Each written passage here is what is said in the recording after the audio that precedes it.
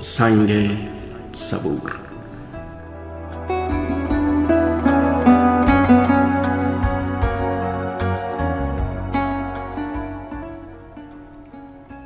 دخترک با خودش تنها. رها در بیغوله غمبار.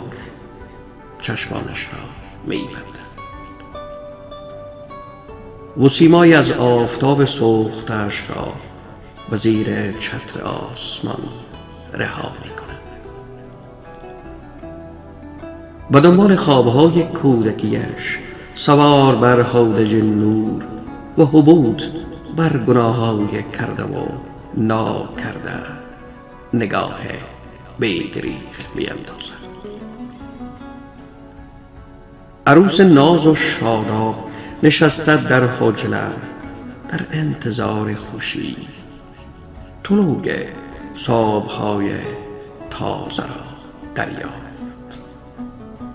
آه چه مردابه دختر در هزاره های سنت میان آیه های تاریکی آب روی آتش اندیشه هایش جاری شد و فقر فرهنگ را بر روی سنگ صبورش 难吃了。